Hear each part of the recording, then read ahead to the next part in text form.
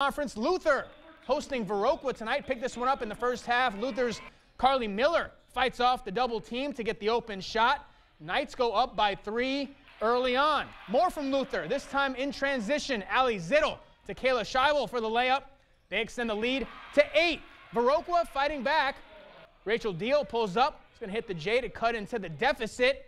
Makes it an eight-point game. But the Knights using their speed. Macy Neumeister gets the rebound, pushes it ahead to Zittel for the layup. Luther gets the win at home, 51 to 19. Over in Minnesota, Winona